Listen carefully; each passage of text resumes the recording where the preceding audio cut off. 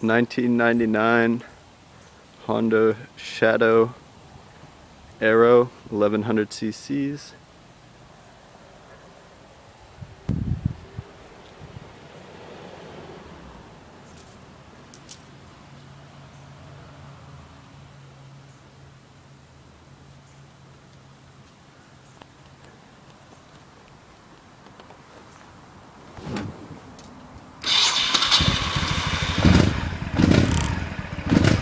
cold start.